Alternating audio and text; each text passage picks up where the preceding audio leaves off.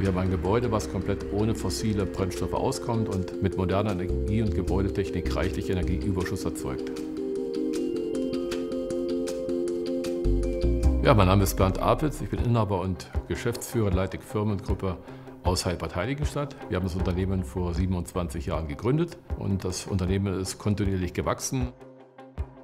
Also Vago hat sicherlich mit unserem Wachstum viel zu tun. Unser neues Betriebsgebäude hat eine sehr aufwendige MSR-Technik. Ein wichtiger Bereich ist da das Thema Eisenergiespeicher. Und die gesamte Energie- und Gebäudetechnik wird hier im Hause mit Vago gesteuert. Das Thema Vago-Klemmen kennen wir schon über viele, viele Jahre, sage ich mal.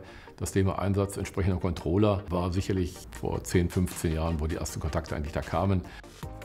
Der Vorteil von Vago ist, dass ich halt ein sehr großes Einsatzgebiet habe. Ich kann Gebäudeautomatisierung mit KNX, DALI. Hat halt den Vorteil, dass ich da halt zu allen anderen Systemen eine Verbindung aufbauen kann.